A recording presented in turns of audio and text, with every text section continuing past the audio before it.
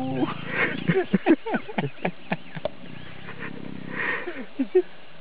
so let Sola Nicholas.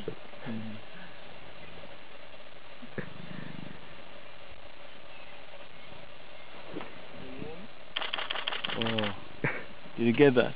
Yeah. Oh, brilliant.